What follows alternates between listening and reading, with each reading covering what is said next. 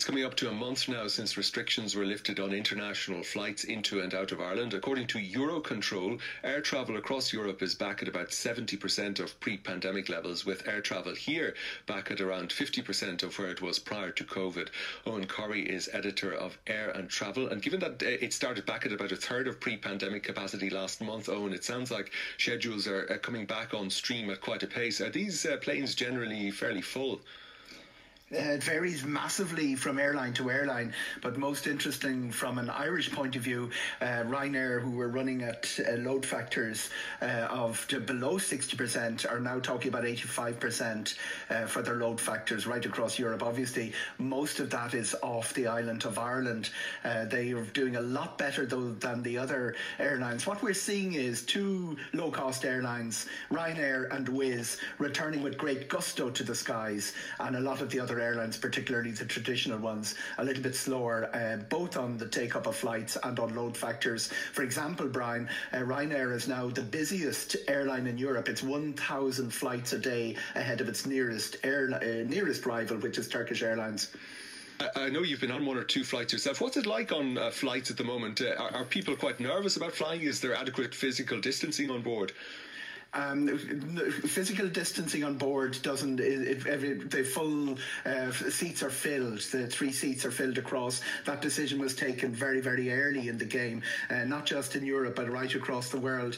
Uh, what we saw at the beginning was a great deal of apprehension, a great deal of nervousness, uh, getting through the airport, getting to the gate, the checking of the extra documentation. Documentation is probably an old-fashioned word because everything's on the phone. But what I saw, um, I mean, obviously the rest of Europe moved, jumped a bit earlier than us. All the other countries were up and running July the 1st. We came in July the 19th.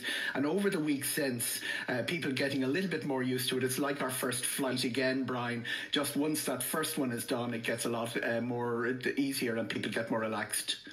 Now, uh, Ryanair and uh, Aer Lingus presumably accounting for the bulk of the traffic off the island. And Aer Lingus started flying its Dublin to Washington route again uh, last week. Uh, it, it, there, but there are restrictions still in place for travel to the US. So who's flying on those routes?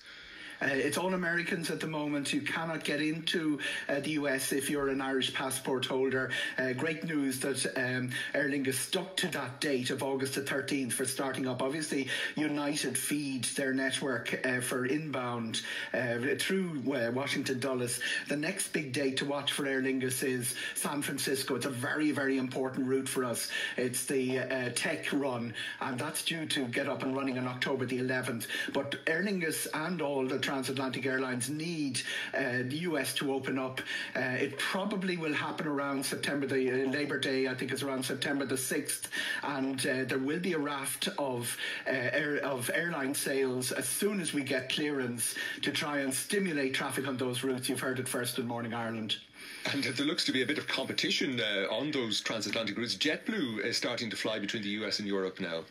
Uh, this is a great time for a first mover, for somebody who hasn't uh, been taking the sort of the punishing losses that uh, happened during COVID. JetBlue has been talking about a transatlantic uh, low cost for many, many years. They've decided to move now. Interestingly enough, the founder of Norwegian is also talking about relaunching uh, a, new, a brand new one. From Aer Lingus' point of view, they're in a good position. Their unit costs are much lower than their competitors on transatlantic. Uh, they're rare roaring to get back on those transatlantic routes, uh, and they will have a codeshare with JetBlue as well. So they're grouping themselves with uh, "It's never been cheaper to cross the Atlantic" sort of message. It'll be interesting to see how that plays off uh, out in the autumn, Brian. Indeed, Eoghan Corry, thank you very much indeed.